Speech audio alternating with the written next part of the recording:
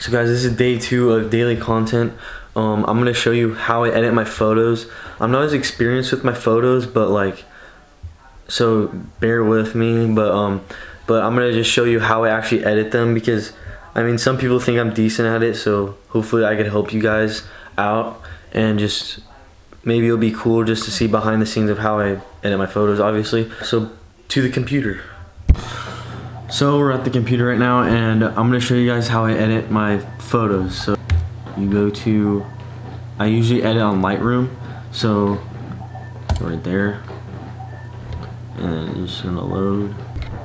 So then I'm gonna get this picture of my friend Luke and then export it. I mean, review for import, sorry. And then there, these are all his pictures though. First I just do the lighting. So since this is a little blown out in the background, I'm gonna um, I'm gonna put the contrast a little up and the highlights a little down. Actually, I'll put them all the way down. Um, like just play around with it. Shadows, whites, blacks, and I kind of go for more colorful. Like I'm, I don't do like just like black and white and stuff. I do more colorful and, and that's my style. So I usually like to do kind of like a pinkish and like that. Pretty bad, so. okay. Just, just play around with the colors. Since I, it's a little bit soft, so I'm gonna put the texture a little bit up. And I like to do dehaze because it makes like the colors more, like, it makes it more, like, ah, it makes it have more contrast and stuff. So, and then I like to do this to focus on the subject. I like to do black, and then texture a little down. Um, none green. Uh, see, I like to make it more colorful, so I'm gonna put it all the way up. And then his hat, I'm gonna make all the way up. Okay, that's just not good. Um, see, I just like play around with it, you know, you know what I mean you know um saturation. Here. right now this is the before and after so this is before and that's after so that's what is so far. You can tell it's a lot better. Yeah.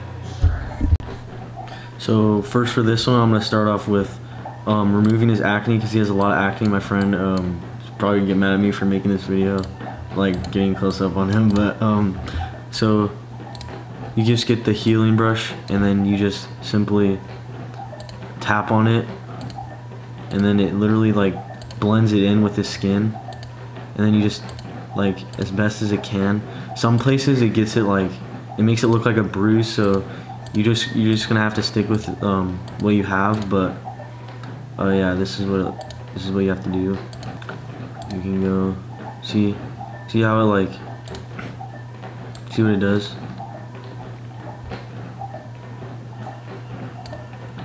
So, so see how right there it literally made it have a bruise? Like it made it look like it have a bruise.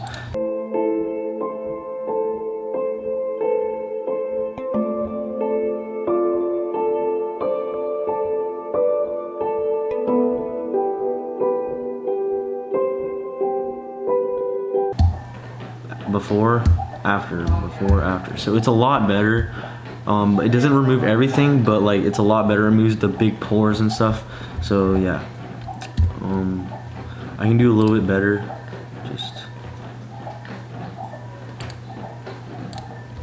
let's go a little more. And I think that's pretty much all I can do at this point. So now I can finally start off with um, I can finally uh, start color correcting it and stuff. So, and first I do the light. I put a little contrast. Um, maybe I could just leave this here. Yeah, I'll just leave all this. Um, so I'm probably gonna do more of a pink. No.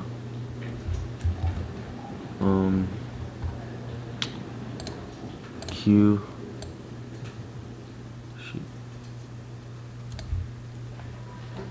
So since the background's green, I literally can just change it whatever color I want. Like, since it's a full color, I can literally just change it like that. So I like that color. Um, yeah, that, that's his skin. So don't mess with that. I'll make it a little bit more orange because he's a little pale. um, and what the luminance is gonna do for his pimples, it's gonna make it like this. So see how I go up? It makes it turn like a little pink, so it, it kind of makes it a little more invisible to your eye. So watch. So see if I do it down, like you can see it more. If I do it up, it makes it a little more invisible. So that makes his pimples like go away a little bit more. Watch. See, it makes it darker, and then you go right there, it makes it lighter, so it blends into the skin. Vision, whatever you, how you say it. Visual, I don't know. So I like to do that to focus on the subject more. See, look at it's like it's like out, and then when it, now it focuses in the subject, and it makes it it kind of makes it look, look more professional. So I don't like to add grain. I mean, I know some people like to, but I don't. Um, noise reduction, I don't know. It makes his face look like a cartoon, so I'm not gonna do that. I might do like a little bit. So that's it for this video. This is the before and after. So this is before, and then that's after, and then um, where's the other one? This one's not as good though. Like I didn't really um, spend that much time on it, but this is the before and then after, and then um, I also did other ones as um, this one before and after. So it looks it like has like a more vibe to it. Actually, my friend edited Sam. Your ah, my friend edited this one, Sam Uribe. So yeah, I go shout shout out for him. And then I edited this one. I think. I think I did. Yeah, I edited this one. So as you can see, I removed the, all the pimples pretty much. And yeah, so this is it for this video. Hopefully you enjoyed. And another video will be out tomorrow, another vlog. So thank you so much for watching. Bye.